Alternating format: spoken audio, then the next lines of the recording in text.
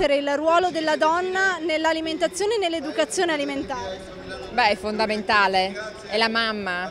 Io se sono così oggi devo ringraziare mia madre perché mi ha sempre abituata a mangiare bene, a mangiare sano e a cercare sempre tutto quello che viene dalla natura.